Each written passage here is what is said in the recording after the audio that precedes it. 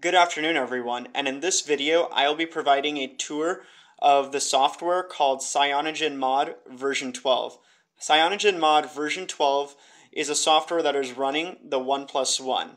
This software has a lot of cool features. The feature that I'm going to show you in this video is called delayed text messaging.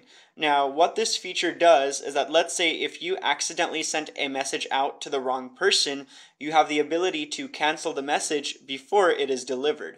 In the app, you are able to select how long you want the timer to stay active before the message is sent out. So in my phone, when I am sending out messages, I have selected that I want only five seconds, and so I basically have five seconds to cancel the message. So now, in this video, I'm going to provide you with the demo and show you how this feature works. So let's open the basic messaging application that came with the OnePlus One.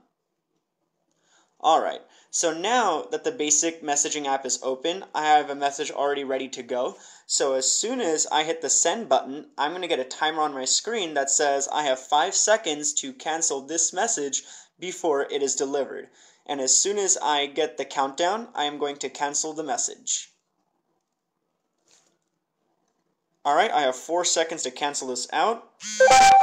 Alrighty, so now the message has been successfully cancelled. Now, I know that it has been cancelled because I have received two notifications. There's a red exclamation mark on the middle of the screen, and there's also a gray X on the top left of the screen that indicates that this message has been cancelled.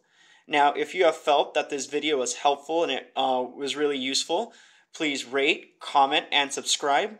Have a good day. Bye bye.